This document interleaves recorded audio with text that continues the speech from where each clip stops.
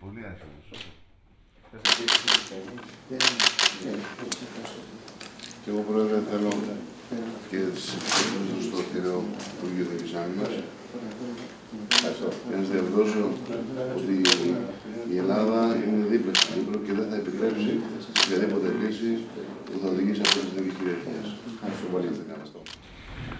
Θέλω να καλωσορίσω τον πρόεδρο του Λίκο τον κύριο Παδόπουλο, με τον οποίο είχαμε την δυνατότητα να ανταλλάξουμε απόψεις, ιδιαίτερα για το θέμα του Κυπριακού. Και με την ιδιότητα του Υπουργού Εθνικής Άμυνας, αλλά και με την ιδιότητα του Πρόεδρου Εξάρτητου Μελίων που συμμετέχουν στην κυβέρνηση. Συζητήσαμε για το Κυπριακό και συμφωνήσαμε στις δύο προϋποθέσεις οι οποίες αποτελούν και θέση της ελληνικής κυβέρνησης αλλά και θέση μέχρι τώρα της Κυπριακής Δημοκρατίας.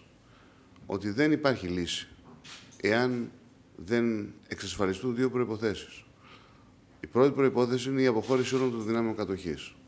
Λύση με παραμονή έστω και ενός στρατιώτη των δυνάμεων κατοχής στην Κύπρο δεν είναι λύση. Και το δεύτερο, το θέμα των εγγυήσεων, στο οποίο δεν μπορεί να επαναχωρήσουμε. Δεν μπορεί να γυρίσουμε στο καθεστώς του 60 ή και χειρότερα. Δεν είναι δυνατόν μία μειοψηφία να καθορίζει το μέλλον μιας πλειοψηφίας. Θέλω να ευχαριστήσω τον Πρόεδρο για την ενημέρωση στην οποία είχα. Θέλω να τον διαβεβαιώσω και να διαβεβαιώσω και κάποιους στην Κύπρο, οι οποίοι τους βλέπω μετά από πολλά χρόνια να αναδύονται κάποιους ε, εραστές του σχεδίου ΑΝΑΝ.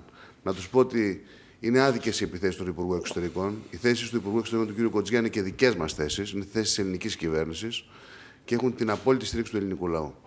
Και να το διαβεβαιώσω ότι η Ελλάδα είναι δίπλα. Ζητάμε μία λύση στο Κυπριακό, αλλά μία λύση δίκαιη και μία λύση εφαρμόσιμη.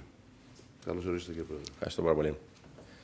Και με τη σειρά μου θα ήθελα να ευχαριστήσω τον έντιμο κύριο Υπουργό για τη σημερινή συνάντηση. Είχαμε μια πάρα πολύ παραγωγική, επικοδομητική συζήτηση για τις τελευταίες εξελίξεις, ιδιαίτερα σε ό,τι αφορά τη σημερινή κατάσταση στο Κυπριακό.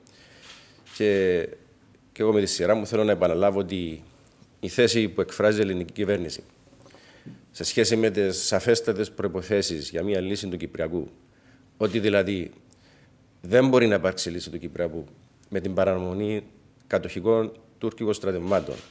Δεν μπορεί να υπάρξει λύση του Κυπριακού με την παραμονή εγγυήσεων της Τουρκίας ή επεμβατικών δικαιωμάτων είναι μια ξεκάθαρη, σαφέστατη τοποθέτηση που ενισχύει την Κυπριακή Δημοκρατία διαπραγματευτικά, αλλά είναι και μια θέση εθνικής αξιοπρέπειας, γιατί τα κοινά εθνικά ζητήματα πρέπει να αντιμετωπιστούν σε συνεργασία μεταξύ των κυβερνήσεων της Ελλάδος και της Κύπρου. Χαιρετίζουμε, ευχαριστούμε και ευγνωμονούμε την ελληνική κυβέρνηση για αυτές τις θέσεις οι οποίες θέσεις είναι απόλυτα ορθές και όχι μόνο ορθές, αλλά θεωρώ ότι χάνουν τη στήριξη της συντριπτικής πλειοψηφίας, αν όχι του συνόλου των Ελληνοκυπρίων. Και εμείς καλούμε τους όποιους καλόπιστους διαμεσολαβητές ή ενδιαφερόμενους που θέλουν να βοηθήσουν στην επίλυση του Κυπριακού να απευθυνθούν στην Τουρκία, γιατί είναι λόγω της τουρκικής αδιαλλαξίας που το Κυπριακό παραμένει άλυτο η Τουρκία κατέχει παράνομα τα εδάφη της Κυπριακής Δημοκρατίας και η λύση του Κυπριακού δεν μπορεί να επιτευχθεί παρά μόνο αν η Τουρκία αλλάξει αυτή τη στάση. Η όποια στοχοποίηση της ελληνικής κυβέρνησης ή αξιωματούχων της ελληνικής κυβέρνησης είναι καθόλου άδικη και πρέπει να σταματήσει γιατί ο υπέτειος του αδιεξόδου και του ναυαγίου που αντιμετωπίζουμε σήμερα είναι η Τουρκία.